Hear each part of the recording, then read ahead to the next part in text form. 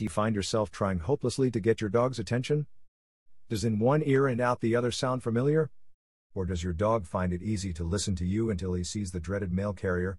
Whatever the case, it's important that us owners are able to capture and hold our dog's attention. Just imagine the consequences if our dog ran onto a busy road and was not able to listen to us calling him back. In this article, I will cover five simple tips you can apply immediately to help your dog become more attentive. 1. Brain training. Playing the airplane game with Einstein brain training is a super effective way to increase your dog's ability to pay attention to you. Many of the games in my brain training for dogs course are designed to improve your dog's attentiveness. One of my favorites is the airplane game, which you can access for free. In this simple game, your dog will learn the following important skills how to pay attention to you on command, how to maintain focus on you despite distractions, unlocking the pathway to super obedience, how to use his hidden intelligence to figure out puzzles. 2. A smacking sound. Wouldn't it be great if there was a noise we could make at any time to get our dog to immediately pay attention to us?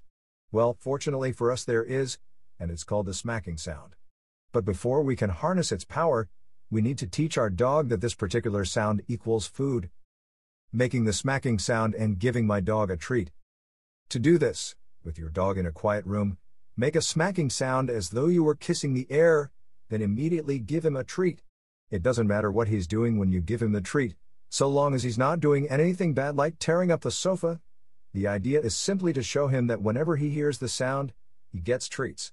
After doing this for a while, you should notice that your dog looks at you for his treat whenever you make the sound. With continued practice, you can start using the smacking sound in everyday life when you want to grab your dog's attention. Keep in mind, however, that the smacking sound may be less effective at times when your dog is too worked up. For example, if he has seen something outside that he reacts strongly to, your sound may go unnoticed. One remedy for this is the Look at That game found in my Brain Training for Dogs course. In Look at That, we will work specifically on teaching your dog to pay attention to the smacking sound despite strong distractions. Einstein says, Don't like using the smacking sound? No problem. You can replace the smacking sound with any other sound you like, such as a whistle or a pop. Just make sure the sound you choose is loud enough to be heard in busier environments, and that it is a sound you can make yourself. 3. The importance of incentives. Chicken slices.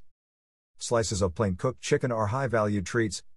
They can be used during particularly challenging training sessions. How would you feel about the idea of working without getting paid? This is exactly how our dogs may feel when we ask them to perform mundane tasks without rewarding them for their efforts. That is why incentives are so important in dog training. There are many different types of incentive, but food rewards are the most common. These rewards are given to a dog whenever he successfully performs a certain action. So let's say we just started teaching our dog to sit for the first time. When he sits successfully, we would reward his effort by slipping him a doggy biscuit or piece of kibble.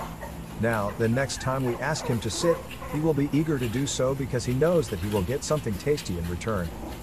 In the Brain Training for Dogs program, I cover techniques which allow you to stop giving your dog a treat every time he successfully performs a certain action and also introduce other forms of reward. 4. Reward voluntary check ins. Rewarding a voluntary check in. I reward my dog for voluntarily checking in on me in the yard. When you are out in the yard with your dog, how often does he pay attention to you? Most likely not very much, as he's far too busy exploring the world with his powerful sniffer. Maybe it's time for a little change. Make it a habit when you are out in the yard to bring along some high value treats, for example, plain cooked chicken slices. Keep these treats handy in a pocket or treat bag. Now, every time your dog happens to walk within arm's reach of you, praise him and extend your hand to offer him a treat. If you do this often enough, positive reinforcement will work its magic and you'll soon notice your dog checking in with you more and more. This is great news, because it means he is learning that you are worthy of his attention. 5.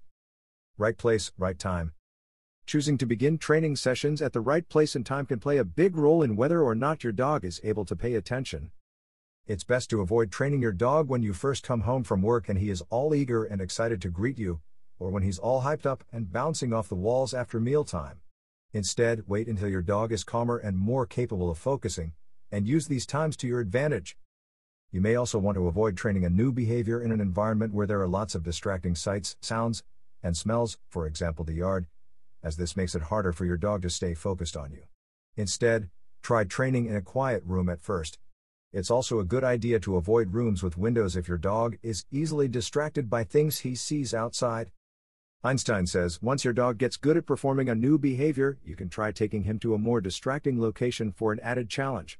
By teaching your dog to perform the behavior despite the added distractions, it will become more reliable,